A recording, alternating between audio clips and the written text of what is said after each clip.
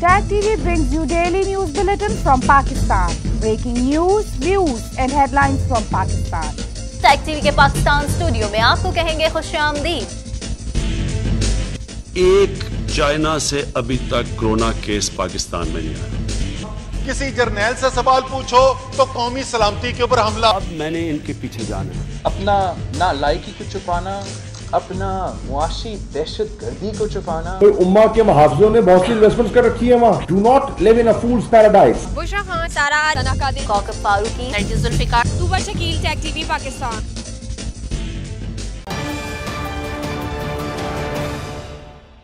अस्सलाम वालेकुम नाजरीन टैग टीवी के पाकिस्तान स्टूडियो के साथ मैं हूँ रुखसार शहजाद। सबसे पहले शामिल करते हैं न्यूज़ हेडलाइंस।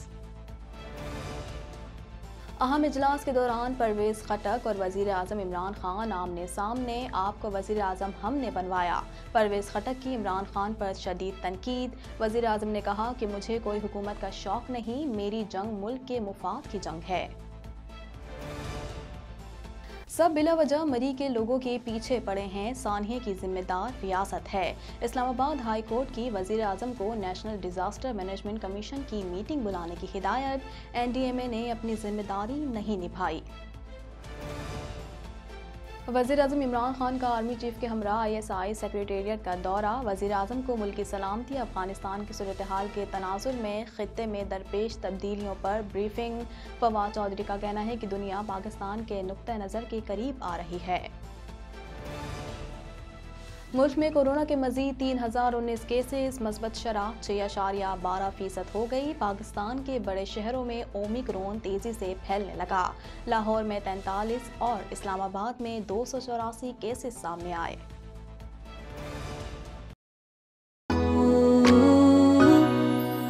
घर में सबकी हेल्थी लाइफ के लिए और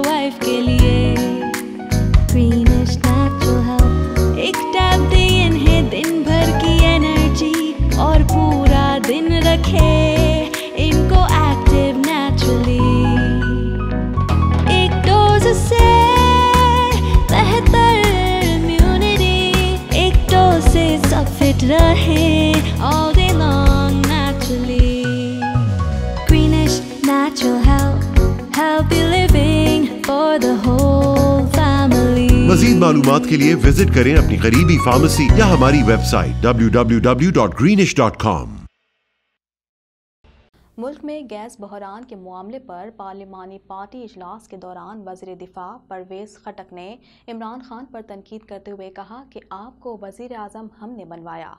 मजीद जानते हैं इस रिपोर्ट में। मुल्क में गैस बहरान के मामले पर पार्लिमानी पार्टी इजलास के दौरान वज़ीर दिफा परवेज खटक ने इमरान खान पर तनकीद करते हुए कहा कि आपको वज़ीर आज़म हमने बनवाया। जराये के मुताबिक वज़ीर आज़म इमरान खान की जेर सदारत पार्लिमानी पार्टी इजलास के दौरान गैस के मामले पर हमाद अजहर और परवेज खटक के दरमियान तल्ख कलामी हुई है, जिसके बाद वज़ीर दिफा इजलास छोड़कर चले गए। इजलास के दौरान परवेज खटक और वज़ीर आज़म इमरान खान भी आमने सामने आए। वज़ीर दिफा ने पार्लिमानी पार्टी इजलास में वज़ीर आज़म पर भी तनकीद की। परवेज खटक का कहना था कि आपको वज़ीर आज़म हमने बनवाया है। खैबर पख्तूनख्वा में गैस पर पाबंदी है। गैस, बिजली हम पैदा करते हैं और पिस भी हम रहे हैं। अगर आपका यही रवैया रहा तो हम वोट नहीं दे सकेंगे। इसी दौरान वज़ीर आज़म इमरान खान ने कहा कि अगर आप मुझसे मुतमिन नहीं तो किसी और को हुकूमत दे देता हूँ। मुझे ब्लैकमेल मत करो। वोट नहीं देना तो मत दो। मेरे कोई कारखाने नहीं है, मुझे कोई ब्लैकमेल नहीं कर सकता। मैं मुल्क की जंग लड़ रहा हूँ, मुझे कोई हुकूमत का शौक नहीं। मेरी जंग मुल्क के मफाद की जंग है। इजलास के बाद मीडिया से गुफ्तु करते हुए विफाकी वज़ीर दिफा परवेज खटक ने कहा कि इजलास से नाराज़ होकर नहीं, सिगरेट पीने बाहर गया था। इजलास के दौरान अपने हक की बात की। इस मौके पर विफाकी वज़ीर हमाद अजहर ने कहा कि इजलास में अरकान ने गैस से मुतालिक सवालात किए। अरकान को सवाल पर मुतमिन करने में कामयाब रहा। वज़ीर आज़म ने बताया कि मुल्क में गैस के जखायर कम हो रहे हैं। बाहर से गैस मंगवा कर घरेलू जरूरियात पूरी की जाएँगी। जराये के मुताबिक इजलास के दौरान एम क्यू एम ने मिनी बजट में टैक्स तरमीम पर गुफ्तु की और मुतालबा किया कि बुनियादी अशिया जरूरिया पर टैक्स ना लगाएँ, जिस पर वज़ीर आज़म ने जवाब देते हुए कहा कि हमें आवाम की मुश्किल का अंदाज़ा है। कोई ऐसा इजाफी टैक्स नहीं लगाएँगे। जिससे आवाम पर बोझ पड़े। चीफ जस्टिस अदर बिनुल्ला ने रिमार्क्स दिए हैं कि मरी में 22 लोगों की हलाकत का जिम्मेदार कौन है। पार्लियामेंट ने डिजास्टर मैनेजमेंट कानून बनाया है। 2010 से इस पर अमल दरामद होना था। मजीद जानते हैं इस रिपोर्ट में। इस्लामाबाद हाई कोर्ट के चीफ जस्टिस ने कहा है कि पूरी रियासत मरी में हलाकतों की जिम्मेदार है। हाई कोर्ट में सानहा मरी की तहकीकात और जिम्मेदारों के खिलाफ कार्रवाई के लिए मरी के रिहायशी हमाद अब्बासी की दरख्वास्त पर समात हुई। दरख्वास्त गुजार ने कहा कि जब टूल प्लाजा से सयाह मरी जा रहे थे तो किसी ने उनको नहीं रोका और न खदशे से आगाह किया। इंतजामिया कसूरवार है। नेशनल डिजास्टर मैनेजमेंट अथॉरिटी के मेंबर पेश हुए। चीफ जस्टिस अथर मनोला ने रिमार्क्स दिए कि इन 22 लोगों की हलाकत का जिम्मेदार कौन है? पार्लियामेंट ने डिजास्टर मैनेजमेंट कानून बनाया है। 2010 से इस पर अमल दरामद होना था। नेशनल डिजास्टर मैनेजमेंट की आज तक कभी मीटिंग हुई है। मेंबर एनडीएमए ने जवाब दिया कि एक मीटिंग 21 फरवरी 2013 को हुई थी और दूसरी मीटिंग पाँच साल बाद 28 मार्च 2018 को हुई। चीफ जस्टिस ने एनडीएमए मेंबर पर इजहार बरहमी करते हुए कहा कि अफसोस की बात है कि मीटिंग होती, तैयारी होती तो कीमती जानों का नुकसान ना होता। आप नाकाम हुए हैं। आपकी ज़िम्मेदारी थी कि मीटिंग बुलाते, उस इलाके के लिए नेशनल मैनेजमेंट प्लान देते। आपने इस कानून पर अमल दरामद कराना था।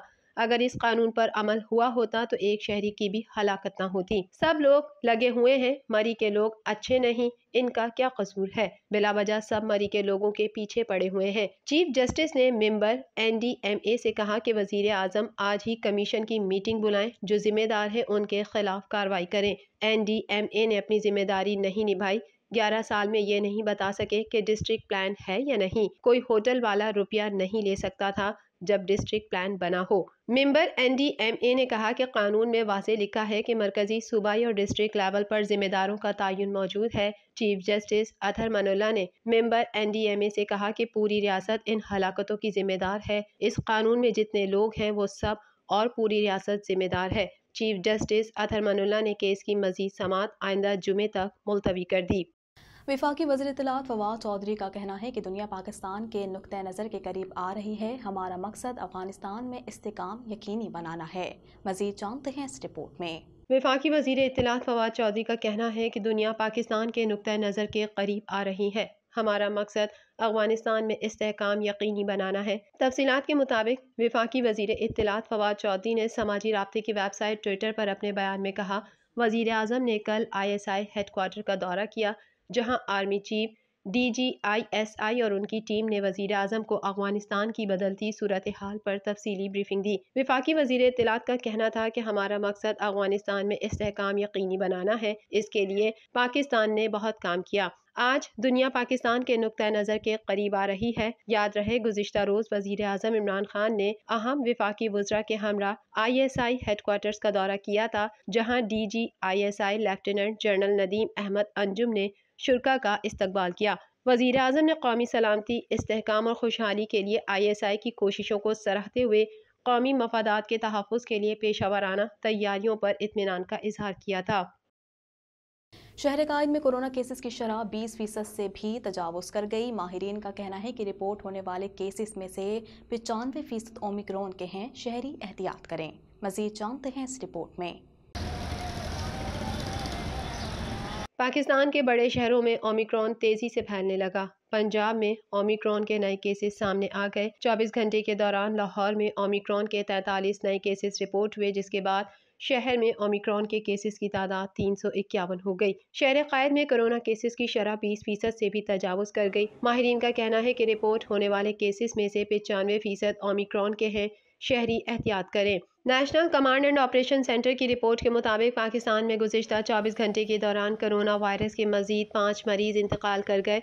मुल्क भर में कोरोना वायरस से इंतकाल करने वाले अफराद की तादाद अट्ठाईस हज़ार नौ सौ बानवे हो गई। एन सी ओ सी के मुताबिक गुजशत चौबीस घंटे में उनचास हज़ार दो सौ सत्तर कोरोना टेस्ट किए गए। इस दौरान मजीद तीन सौ एक अफराद में कोरोना वायरस की तस्दीक हुई।